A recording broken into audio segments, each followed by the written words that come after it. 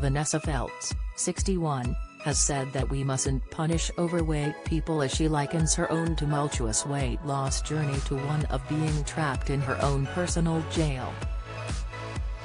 In the TV personality's latest column, she discussed the new wonder drug Wegovy and whether or not it is a quick fix.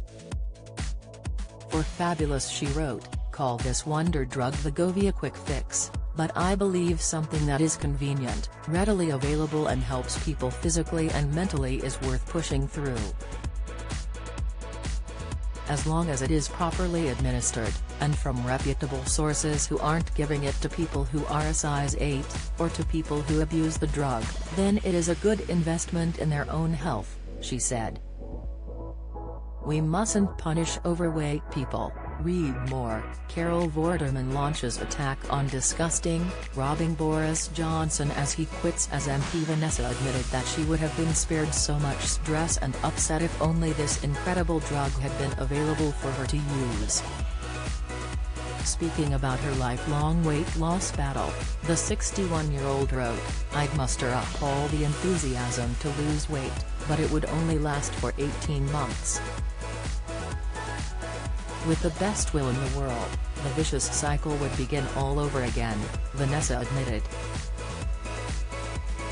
Years ago, I'd have my big bum plastered all over magazines and I'd feel absolutely humiliated. You'd think that would be enough incentive to stay on track, but it was not. Don't miss.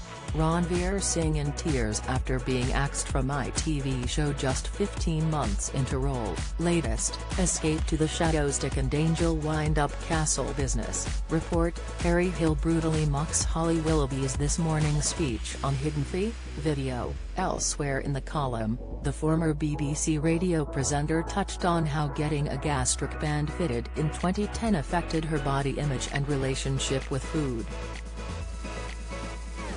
She stated that although she paid a fortune for weight loss surgery she hasn't looked back. These days I'm a size 12 to 14, eat less, can control portion size and have tons of energy. But let's be honest, it's pretty extreme to have to go to those lengths, isn't it? If I could have had a weekly injection instead, I would have loved it, she admitted. Jabbing yourself with medication takes all of the emotional anguish out of the struggle to lose weight.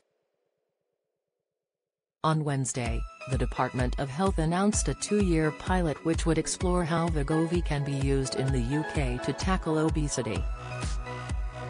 According to Diabetes.org, 35,000 people will have access to Wegovy, but to make it available to more people who could be eligible, the pilot will explore how GPs could safely offer Wegovy, and how the NHS can provide support in the community or digitally.